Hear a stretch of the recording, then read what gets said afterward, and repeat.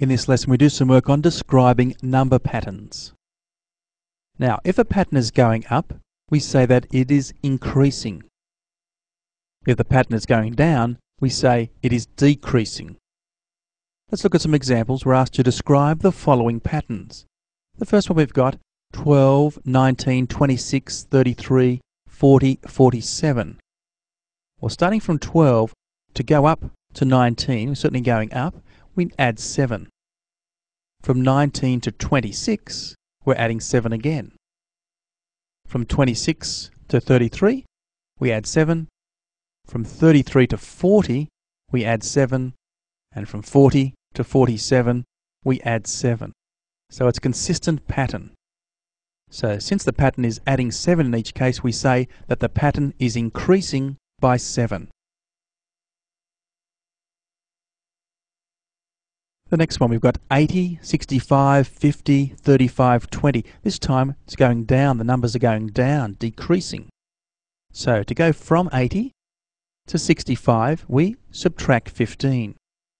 From 65 down to 50, again, subtract 15. From 50 to 35, we subtract 15. From 35 to 20, we subtract 15. So there's a constant pattern there. Now, because the pattern is this time going down by 15, we say the pattern is decreasing by 15. Now, just before we go to the next question, sometimes it's easier to see what you're adding. If we went from 20 to 35, you could probably say, oh, that's easy, that's adding 15.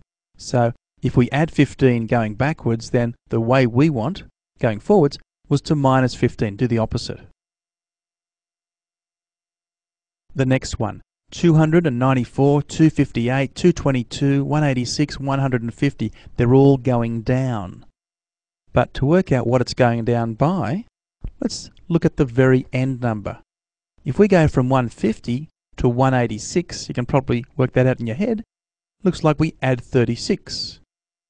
From 186, if we add 36, yes, we do get 222.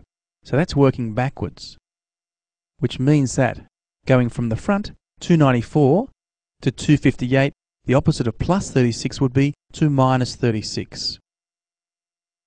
Now let's check whether our pattern works. Let's see what 294 minus the 258 is. Let's see if it's a difference of 36.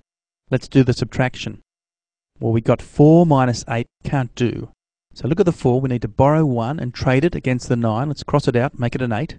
So 14 minus 8 is 6. 8 minus 5 is 3.